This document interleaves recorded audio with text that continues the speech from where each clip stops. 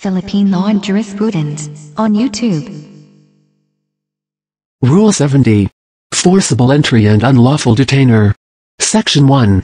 Who may institute proceedings, and when?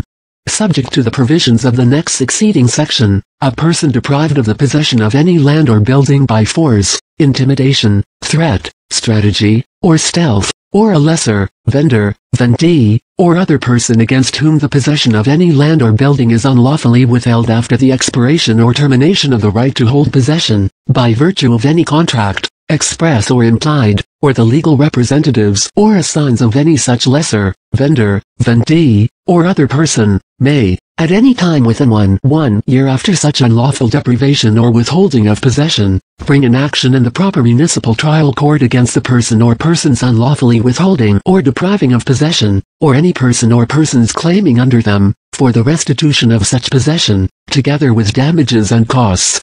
Section 2. Lessor to proceed against lessee only after demand.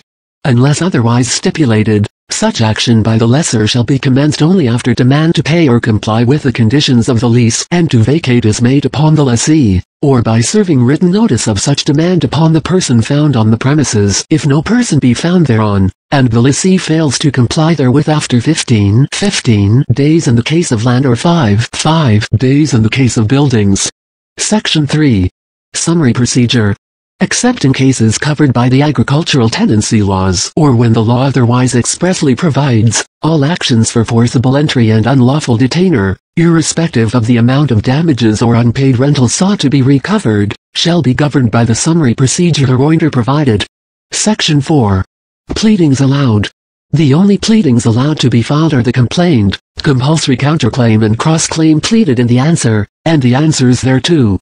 All pleadings shall be verified, Section 5. Action on complaint. The court may, from an examination of the allegations in the complaint and such evidence as may be attached thereto, dismiss the case outright on any of the grounds for the dismissal of a civil action which are apparent therein. If no ground for dismissal is found, it shall forthwith issue summons. Section 6. Answers.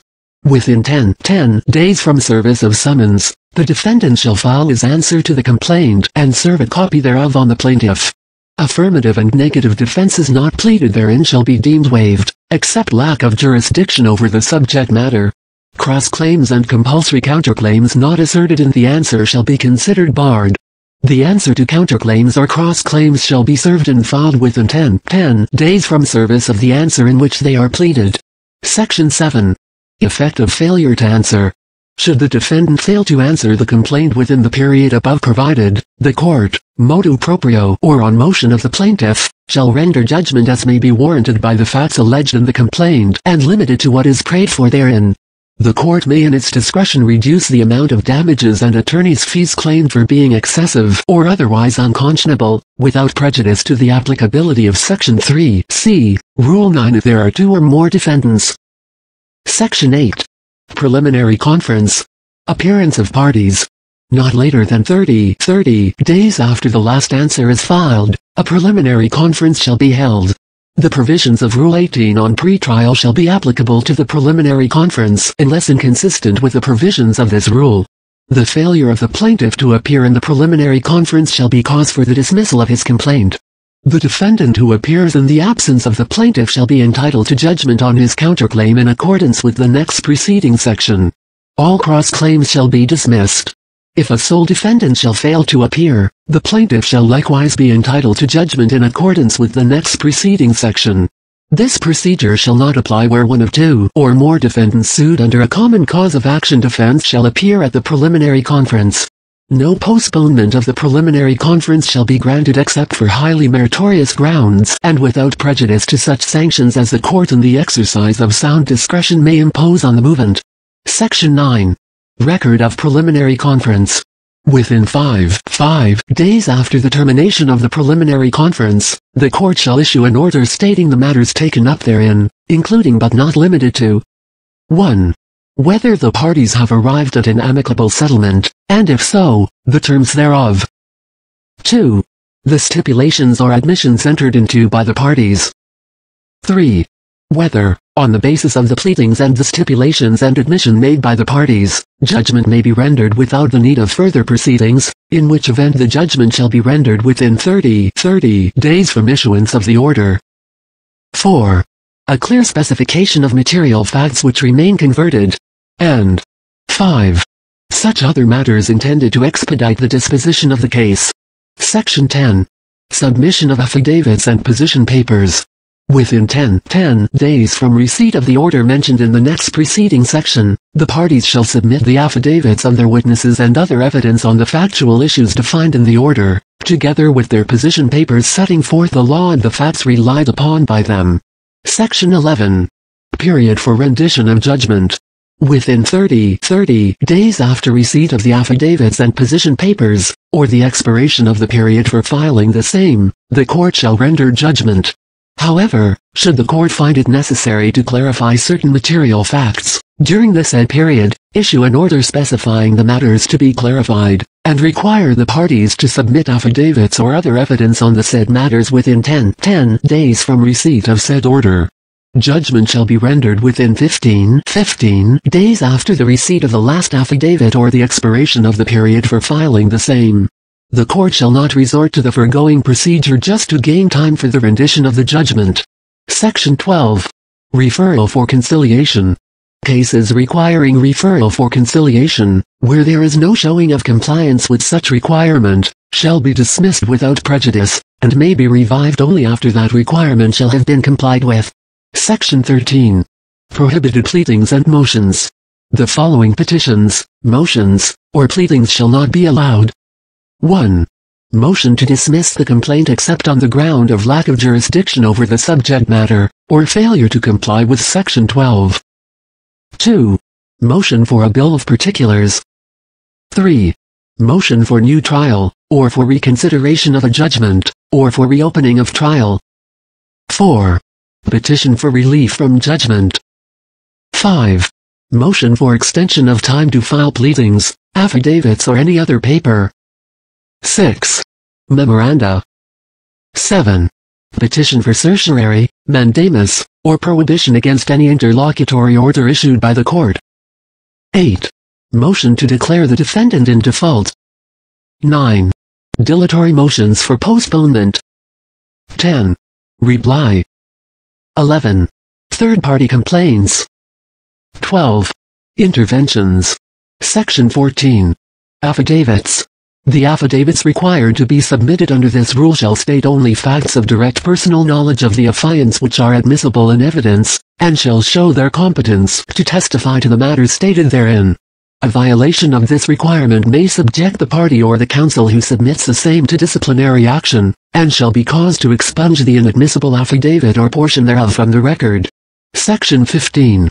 Preliminary Injunction. The court may grant preliminary injunction, in accordance with the provisions of Rule 58 thereof, to prevent the defendant from committing further acts of dispossession against the plaintiff. A possessor deprived of his possession through forcible from the filing of the complaint, present a motion in the action for forcible entry or unlawful detainer for the issuance of a writ of preliminary mandatory injunction to restore him in his possession.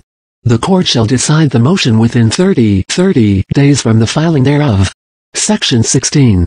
Resolving defense of ownership. When the defendant raises the defense of ownership in his pleadings and the question of possession cannot be resolved without deciding the issue of ownership, the issue of ownership shall be resolved only to determine the issue of possession. Section 17. Judgment.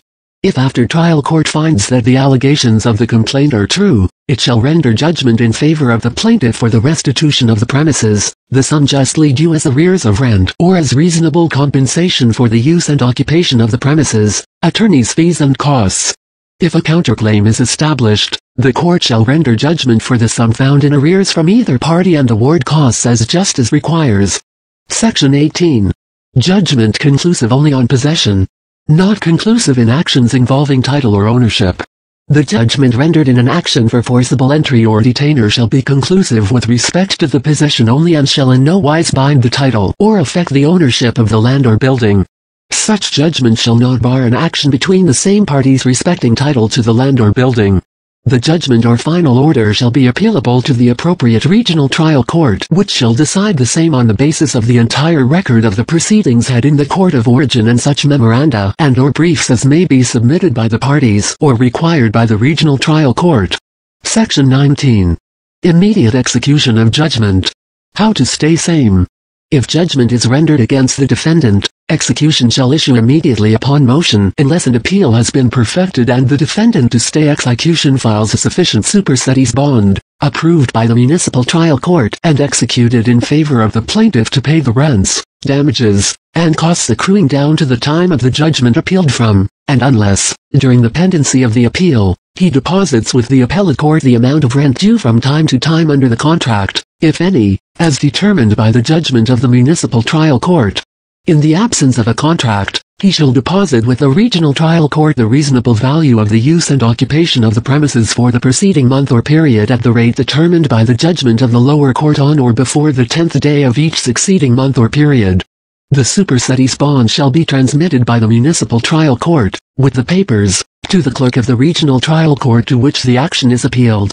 All amounts so paid to the appellate court shall be deposited with said court or authorized government depository bank, and shall be held there until the final disposition of the appeal, unless the court, by agreement of the interested parties, or in the absence of reasonable grounds of opposition to a motion to withdraw, or for justifiable reasons, shall decree otherwise. Should the defendant fail to make the payments above prescribed from time to time during the pendency of the appeal, the appellate court, upon motion of the plaintiff, and upon proof of such failure, shall order the execution of the judgment appealed from with respect to the restoration of possession, but such execution shall not be a bar to the appeal taking its course until the final disposition thereof on the merits. After the case is decided by the regional trial court, any money paid to the court by the defendant for purposes of the stay of execution shall be disposed of in accordance with the provisions of the judgment of the regional trial court.